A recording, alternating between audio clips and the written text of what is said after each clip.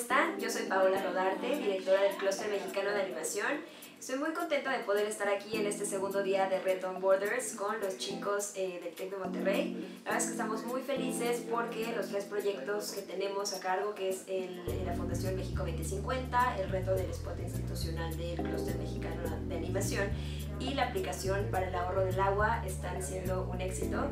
El día de hoy eh, checamos el avance de los chicos, algunos ya tienen la parte de storyboard, algunos ya están empezando a animar, algunos ya tienen las maquetas de voz armadas. En, en, general, bueno, el avance de cada proyecto ha sido distinto, pero eh, en común vemos que todos los chavos tienen muchas ganas de eh, pues, hacer proyectos súper padres. La verdad es que las, todas las ideas son muy buenas, ¿no?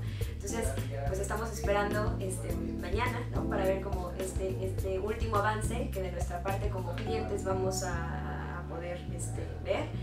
También el día de hoy estamos teniendo una segunda asesoría, cada equipo está teniendo esta segunda parte este, con el apoyo de, expertos.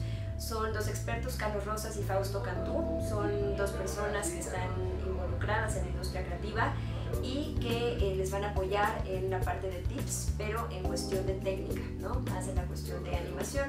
Entonces, pues bueno, esperamos que a los chicos les sea de mucha ayuda tanto nuestra, este, la retro, que nosotros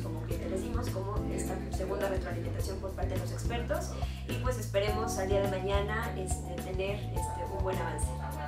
Estamos generando Sí, un, un, un cine minuto animado. Animado, con motion graphics y llevamos... Y llevamos el storyboard, está la pre. Preproducción. Necesitamos que aquí los, sí, los, los jóvenes de, los que están a cargo de este asunto, pues nos den asesoría para ver si ya nos den el, el green light.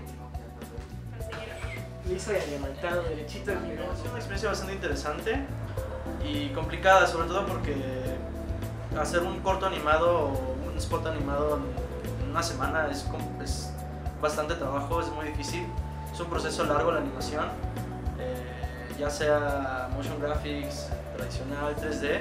Siempre, siempre tienes que tener muy bien, muy bien claro el proceso de lo que quieres llegar.